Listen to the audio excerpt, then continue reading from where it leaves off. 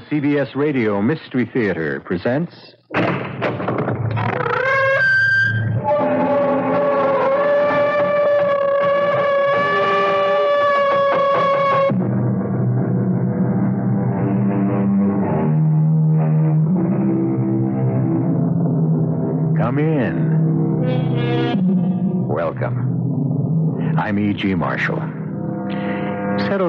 And let me ask you a profound and difficult question. What is faith?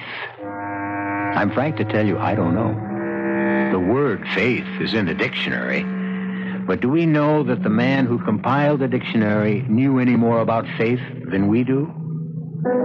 Well, I should like to give you my favorite description of faith, which comes from the Bible, from the book of Hebrews, where it is written, Faith is the substance of things hoped for, the evidence of things not seen.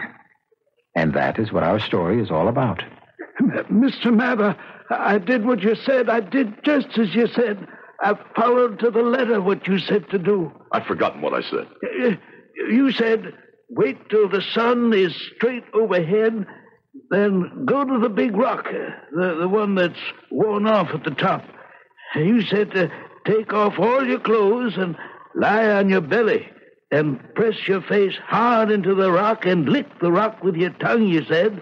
Lick the rock 29 times with your tongue. Then, then put your clothes back on and go home, and you'll be all right. Did I really say all that? Did I really? I must be losing my mind.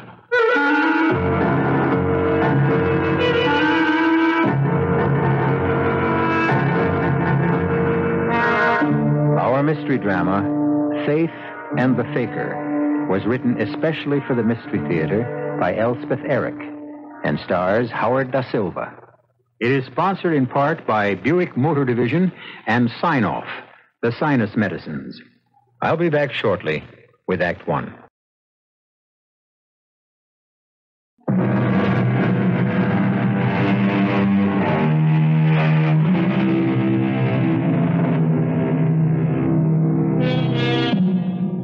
Faith is the substance of things hoped for and the evidence of things not seen. Such is the theme of our story, and the leading player is a man who never had faith in anything but himself, and not in the better part of himself either, as we shall soon discover. I'll get the door open in a second, Mr. Mather. Oh, you must be drenched. It's all right. It's all right. Oh, go on in, Mr. Mather. After you. Oh, Eliza, I, I can't stand the pain. Oh, there, there, my dear one. Somebody help. The pain.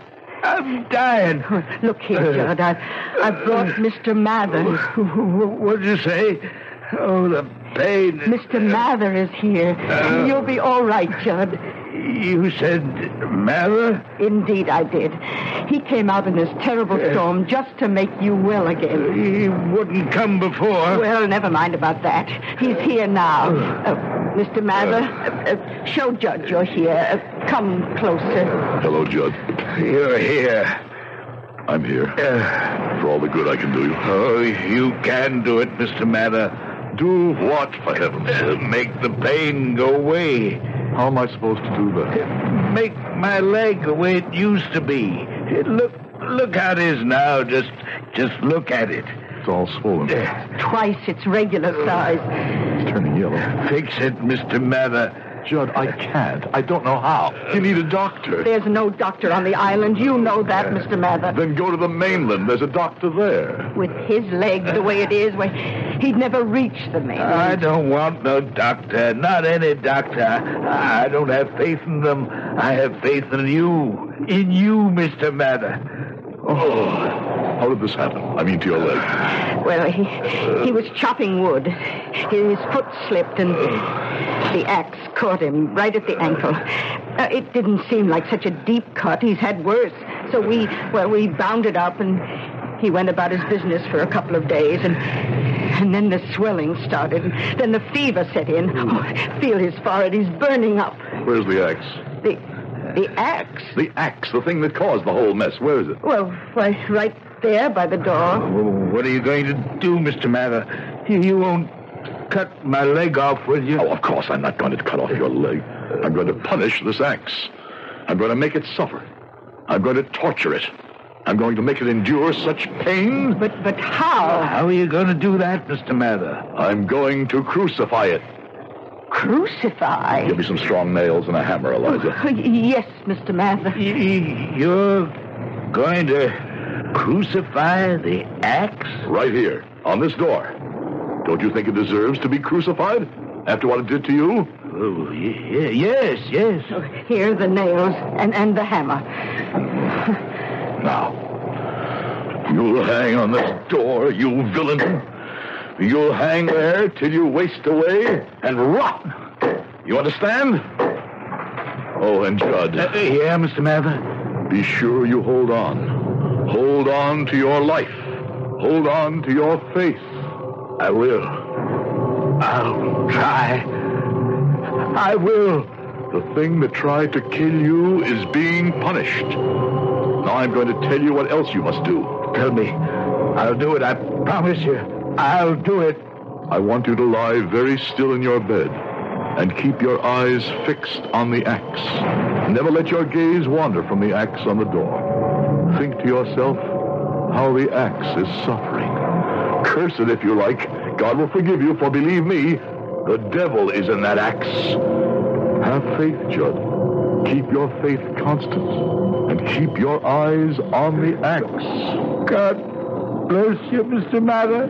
Now I must get back to my wife. Oh, oh, how is your dear wife? The same, the same. Good night to you both. Oh, good night. God bless you, Mr. Mather. Now, wasn't that terrible of me? Never thinking to ask about his poor wife.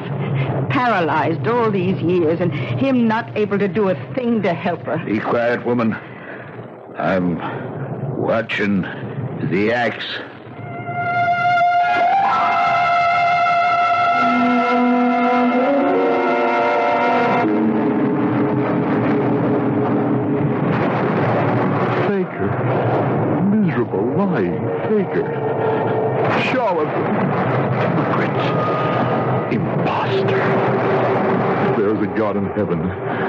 Strike me dead for my endless frauds.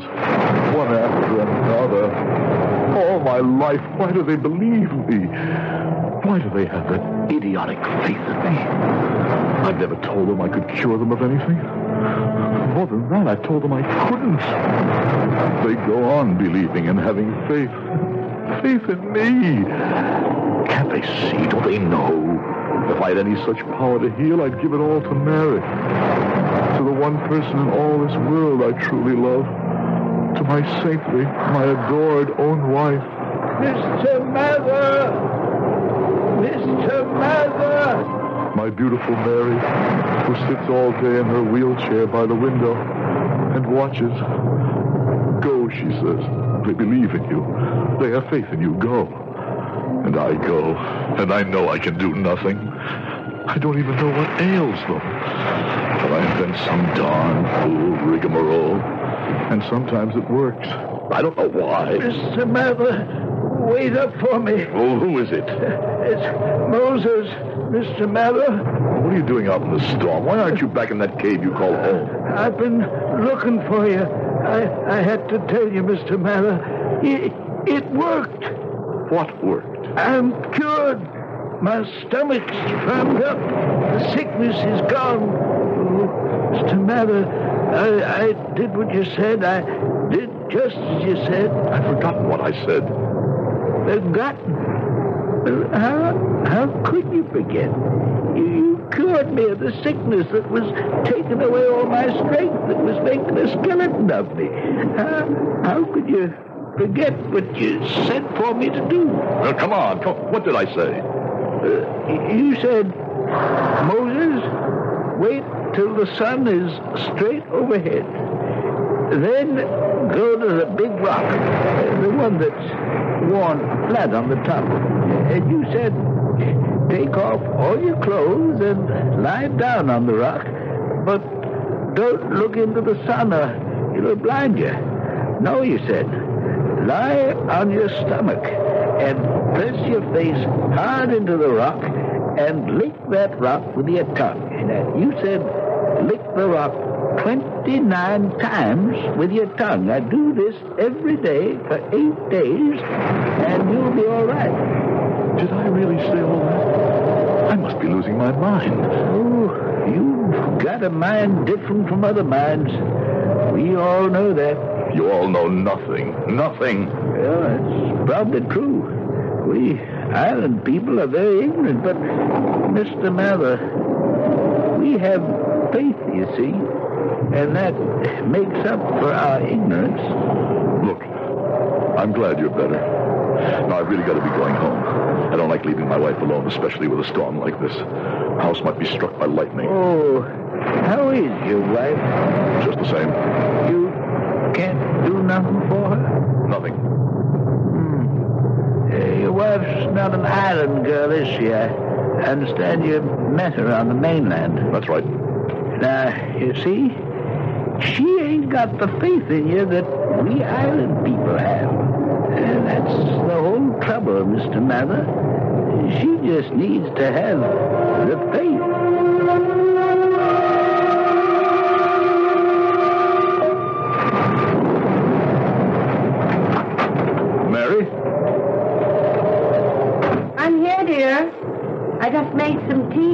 Thought you'd need it. I do, I do. It's on the kitchen table. Come join me. I shall, of course I shall. I want to hear what happened to poor Judd. I think I'll have a spot of rum in my tea. You? No, not for me. Now tell me. Oh, Mary. Why do you make me go on these fool errands? I don't think they're foolish. Oh, there's Judd lying in bed with his legs swollen the size of a tree trunk and the color of a lemon. I asked him how he'd done it, and he said he'd cut his ankle with an axe. It wasn't much of a cut, so they just bound it up with something. And a few days later, it started to swell. Well, there he is. Can't move out of bed in terrible pain with a raging fever. So what did you do for him? What could I do?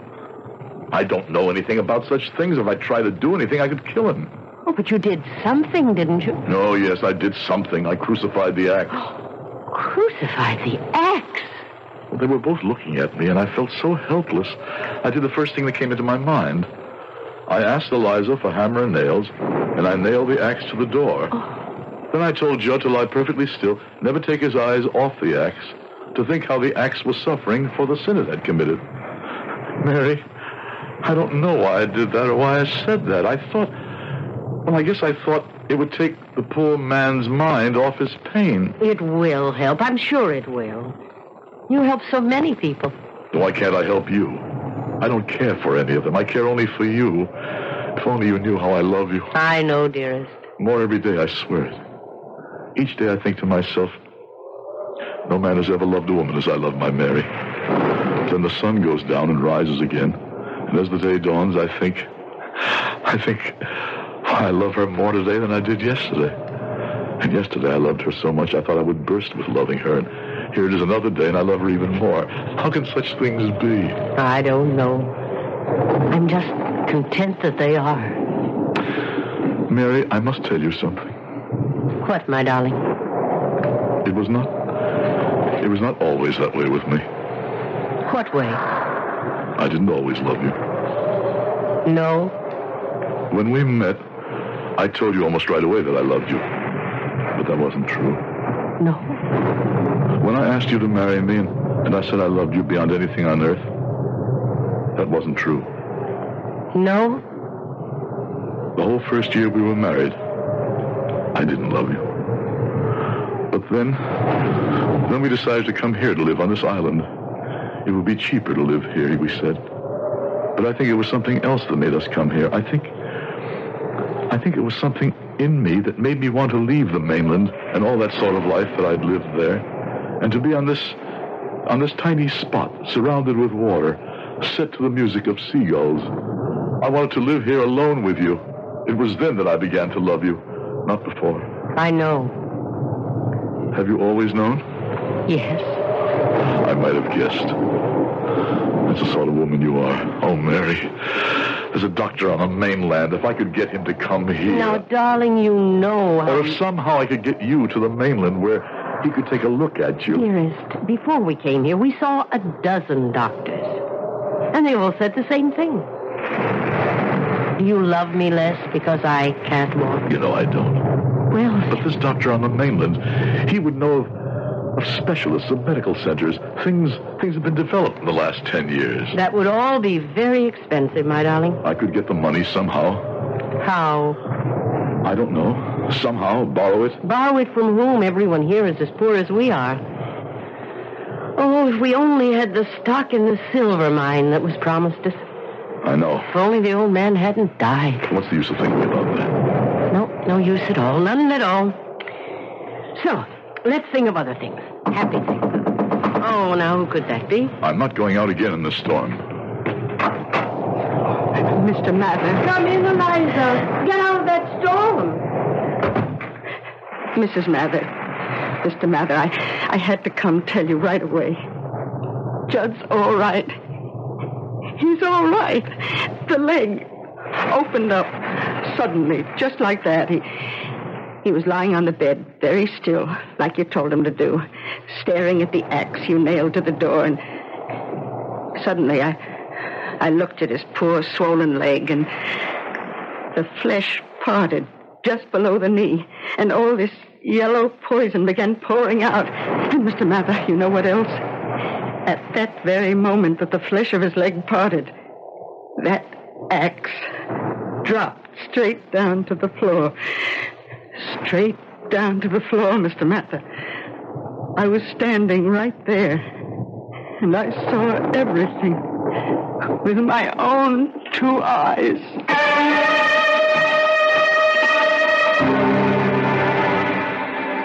To what do you wish to ascribe this amazing happening?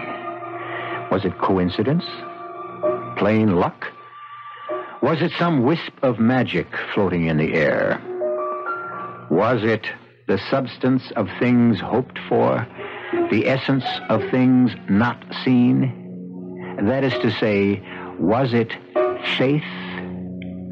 We'll come back to you shortly with Act Two.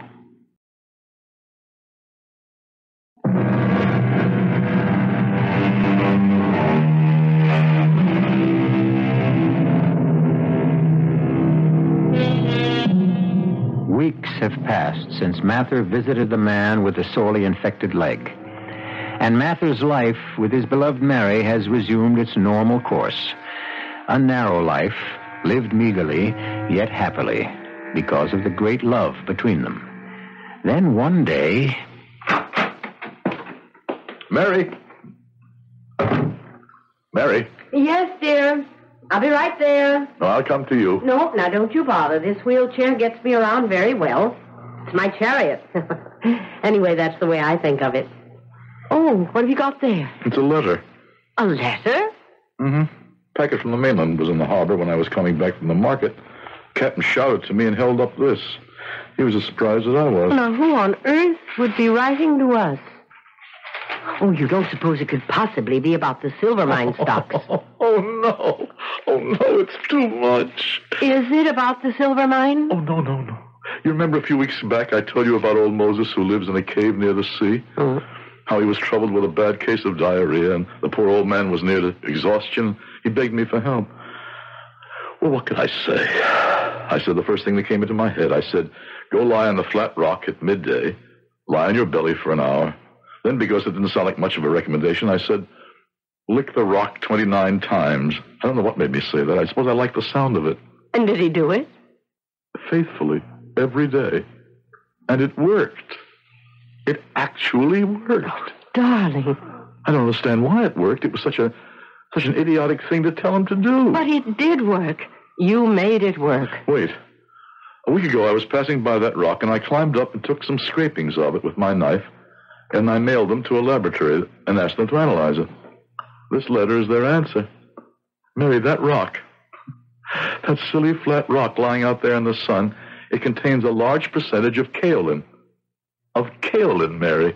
Do you realize what that means? Why, I don't even know what kaolin is. It's a kind of clay, a very fine clay, almost invisible to the naked eye. and it has the property of absorbing things. Oh, it's famous, Mary. People use it in porcelain and for other things, but most importantly, they use it to correct the condition that was destroying poor Moses. Don't tell him. Don't tell Moses. Why not? Well, he wouldn't understand. And he'd rather think it was you. But I don't want him to think it was me. I'll get that. Nicholas, how are you? It's, uh, it's my wife, Mr. Mather. She's, she's very bad. Come in, Nicholas. What's the matter with Nellie? Uh, i- i- it's the migraine, Mary. Nellie's half out of her mind with it. Uh, Mr. Mather, please, please do something for her. Nicholas, I know nothing about migraine headaches. What about the pills the doctor from the mainland gave her? Well, they do no good at all. Darling, you must go. But I can't do anything. You'll think of something. Please. Please, Mr. Mather. All right, let's go.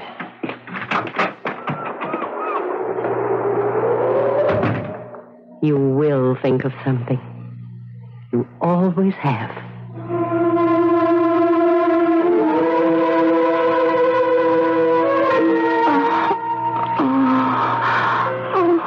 Now, Nellie, I know how much it hurts.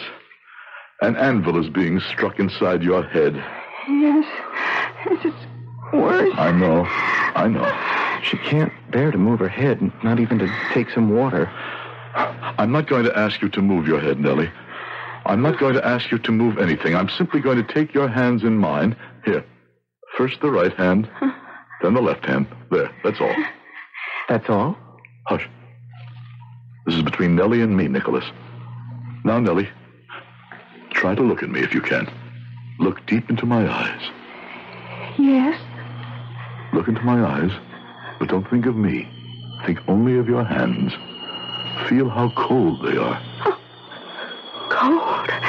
Like ice. Now think of the ice melting. Think of sun shining on ice, shining on your hands. Hot, hot sunlight. Hot. Your hands are getting warmer Warmer. and warmer and warmer. Why, your hands are beginning to feel hot, burning. I can hardly hold them. Don't let go. Oh, Why? let go. Why, Nellie? Because. Because my head is. is beginning to clear. Good. Is it true? Is it true, Nellie? The pain. The, the pain is leaving me. Hold on to my hands till the pain is gone. Don't worry. I'll sit right here and hold your hands till the pain is quite, quite gone.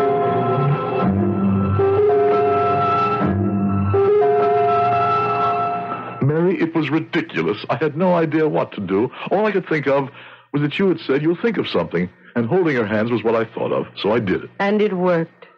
Yes, yes, it worked. I don't know why, Nellie had faith in you. but I don't care about Nellie or Moses or Judd or any of them. I only care about you, and I can't do anything for you. You love me. You make me happy. Do I make you strong and well and able to walk? Even raise yourself from that wheelchair? No. Then what good am I? What earthly good am I? Mary, I've been thinking of something Moses said to me that night during the storm. He said, he said, the reason I could help so many of the islanders was because they had faith in me. Oh, they do, darling. And he said that perhaps the reason I couldn't help my own wife was because, because you're not an islander and you don't have faith in me. Darling, I love you. With all my heart, I love you. But do you have faith in me? I mean, the strong faith, the kind of faith that moves mountains, as the Bible calls it. Do you? I only know I love you. Mary, I'm going to get that doctor from the mainland. One way or another, I'm going to bring him to this island. Without money I'll mortgage my life. and without a boat. I'll borrow a boat. With no one to sail the boat. I'll manage, you'll see. You'll see, I'll manage somehow. Uh, M- Mr. Mather, uh, it's, it's Nellie again, another migraine. You must come. She's in such pain. Nicholas, not now. I, I have other things on my mind. Please, Mr. Mather, you, you don't know how she suffers. Two weeks ago, when you cured her, that, that was bad enough, but this time it, it's worse. You must come. Darling, go with Nicholas. You really want me to? I want you to. Very well, if my wife wants me to go with you, Nicholas. Come on. You will think of something, my darling. You'll see. You'll think of something.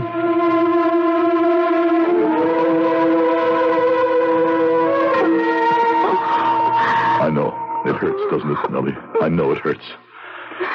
Your head is bursting with pain. Your stomach is churning. What's the matter? Why do you just stand there? The, the light through the shutters pierces your eyeballs, doesn't it, Nellie? Aren't you going to take her hands, Mr. Mather, or tell her to look into your eyes? No. Why not? Are you going to do something else? No. But you can't let her suffer like that. Uh-uh, aren't you going to do anything at all? No. But you are. Me? What can I do? What I did. But I have no power, Mr. Mather, not like you. I'm going to give you my power. Come here. Pull that chair up to your wife's bedside. Sit down. Now, take your wife's hands in yours. That's right. Nellie, look at your husband. Look at him. Nicholas. Dearest. Nellie, your hands are in your husband's hands. Now I'm going to put my hands on top of his hands. Whatever power is in me will pass from my hands into his. Do you understand? Yes. Do you understand, Nicholas? Yes? All right then. Now look deep into your husband's eyes, Nellie. Never let your gaze wander. And you, Nicholas, keep your eyes fixed on the eyes of your wife. That's it. Very good. Neither of you knew the moment when I removed my hands. That means that my power went into the hands of Nicholas. And now the power in the hands of Nicholas is passing into your hands, Nellie. Yes. I feel What do you feel?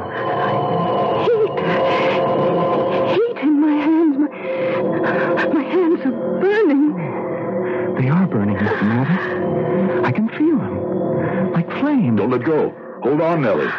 How does your head feel? Oh, Better.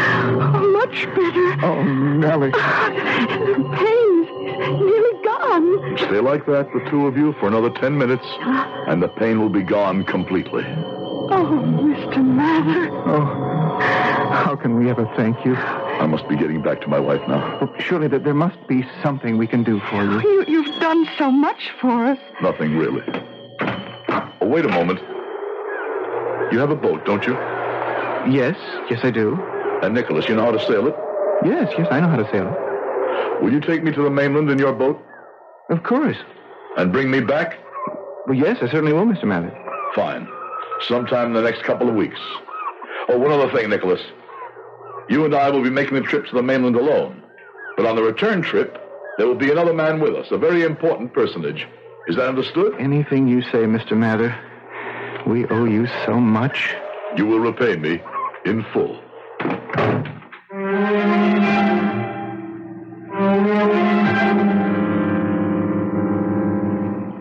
I am quite sure that there is at least one person who has faith in you. Is it your wife? Your husband? Your father or mother? A child?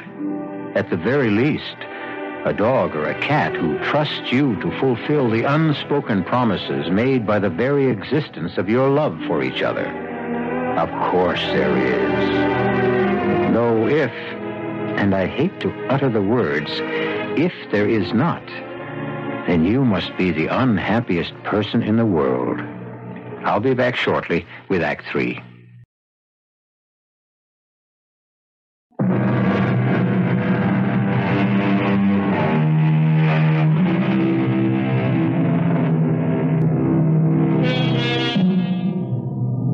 Two weeks have passed since Mather mysteriously conveyed to Nicholas the means by which he might cure the migraine headaches of his own wife. In return, Mather exacted from Nicholas a promise to take him in his sailboat to the mainland. Now Mather is about to demand the fulfillment of that promise. Come in. Come in. Mr. Mather. Come in. Come sit down. Have some coffee with us. Thank you, no, Nellie. Another time. Nicholas, today's the day. What day's that? Today is the day you take me to the mainland in your boat. Oh. You haven't forgotten your promise, have you? Oh, oh, oh, no, no, no. Oh, we would never break a promise to you, Mr. Mather. Uh, how, how long will we be away? I, uh, I don't like to leave Nellie alone too long, you know, if one of her headaches should come back. Should take us the better part of a day to get there. Then perhaps part of a day to find the person I'm looking for.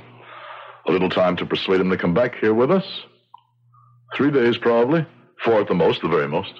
Now that you've shown me how to rid Nellie of her terrible headaches, I, I hate to leave her. Oh, Nicholas, you promised. You you must keep your promise. Thank you, Nellie. Oh, I'll be all right. I know I will. And oh, something else, Mr. Mather. Every day I'll, I'll go to your house to be sure Mary's all right. Mary does pretty well for herself. She knows how to get around in her wheelchair. Oh, yes, but she might need something from the store. And besides, she'd like the company, wouldn't she, with with you away? Of course she would. and it's very kind of you to offer. Nicholas, bring the boat to my dock in, we'll say about an hour. Well, I could be there sooner if you like. No, no, an hour would be soon enough. I want a chance to talk to my wife, tell her of Nellie's kind offer, and, and a few other things. Goodbye, and thanks to you both. A good journey, Mr. Mather. I'll see to that.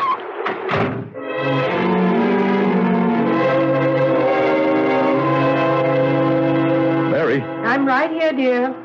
I just talked to Nicholas. He's going to sail me to the mainland, and I'm going to see that doctor.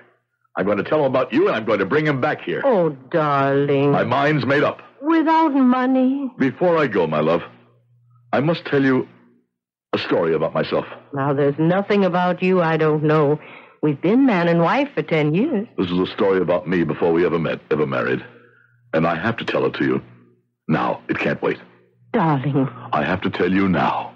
if you must, all right. Before I met you, Mary, I may as well say it right out. I was one of the top ten swindlers in the country. Swindler? Con men, confidence men, men who. men who trim suckers, I, I don't know what that means exactly. men who pretend they have ways to make large sums of money for people who trust them. My favorite gimmick Gimmick. scheme, scheme for getting money out of people. My favorite scheme was the dying stockholder pitch. Pitch? The tale I tell the suckers, the story.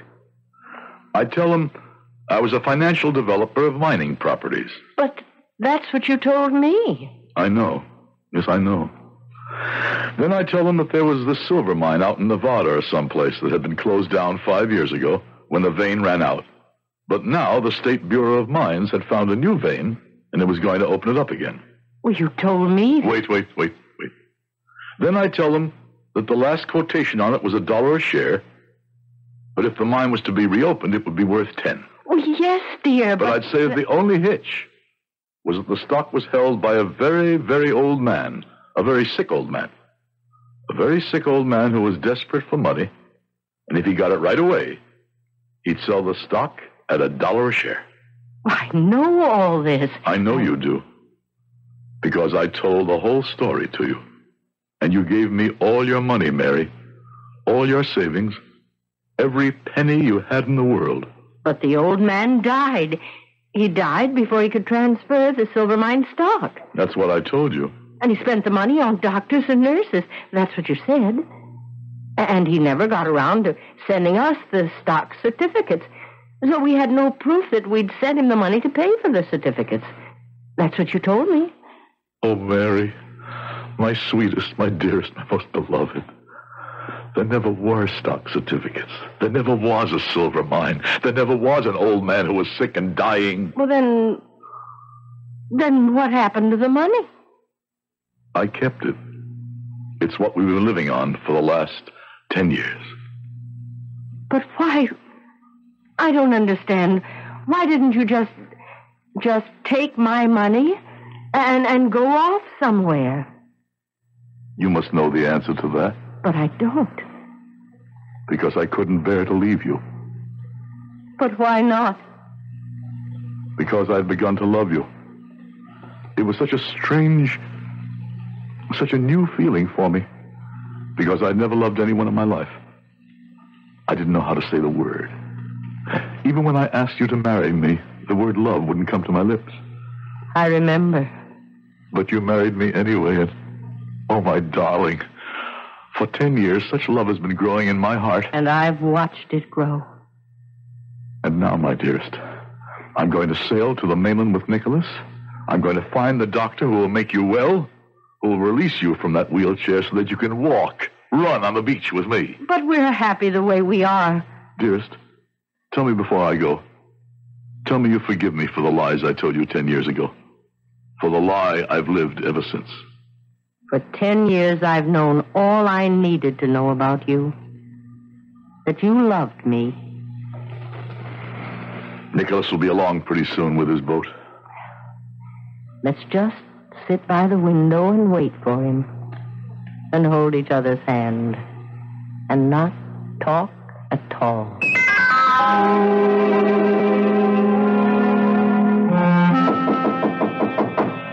Mary, it's me. I'm coming in. Oh, come on in, Nellie.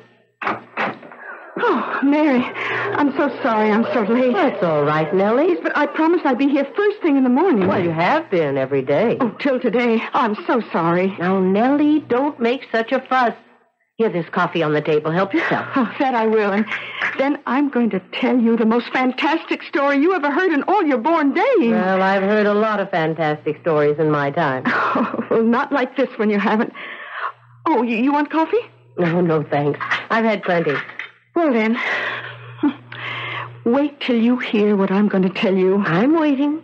But As you very well know, your husband and mine have been gone for three days. Today will be the fourth day. Well, you know, Nicholas was very nervous about going because he didn't want to leave me. And but to tell you the truth, I was nervous about his going too, for fear I might have another one of my headaches.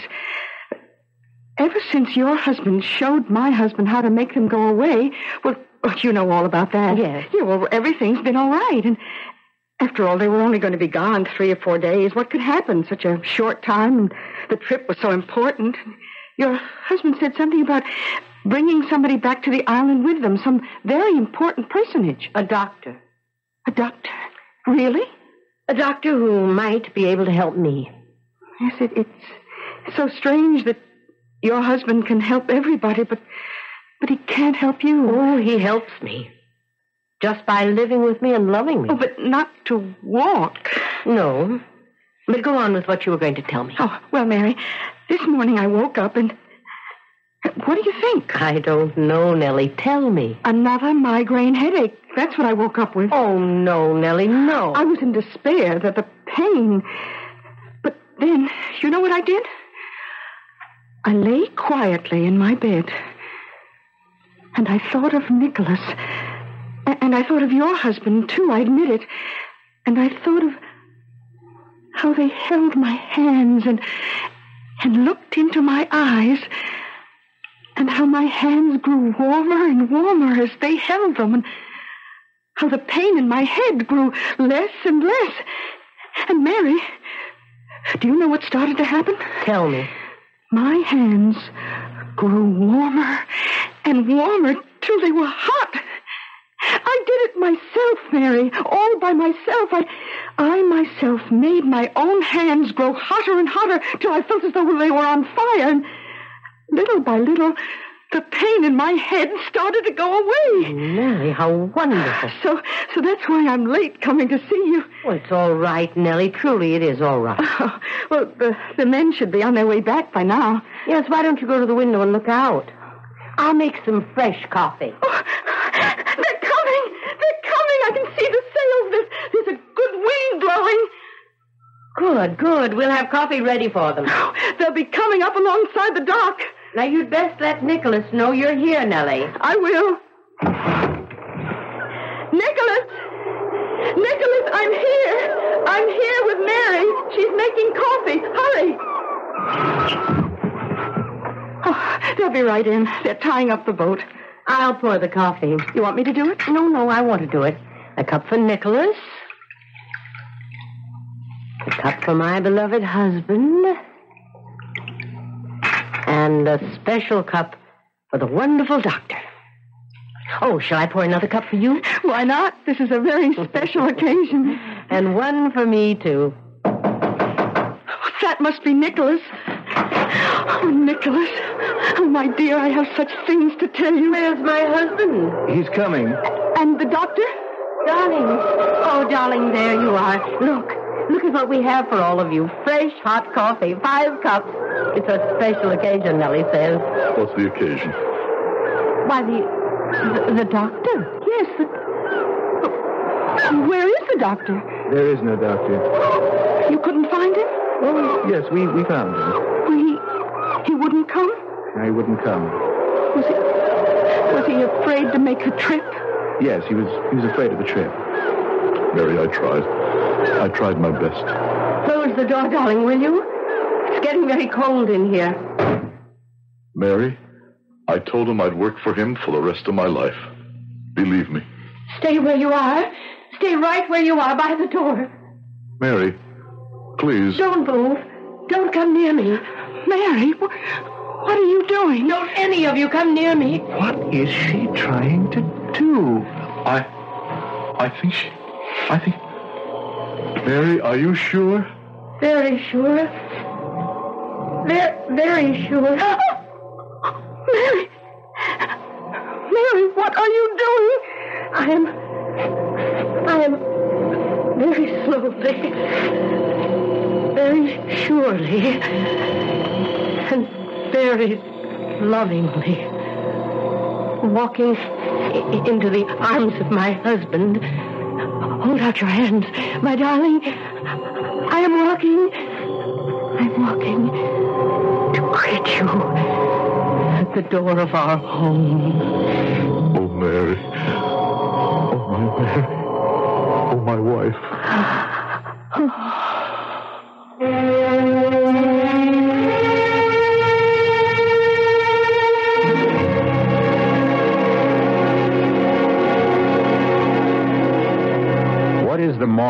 Our story, if it has a moral? Why, that the handmaiden of faith is truth. That without perfect truth, there can never be perfect faith. But when both truth and faith are perfect, why then miracles happen. As one has just happened in our story called Faith and the Faker. I'll be back shortly.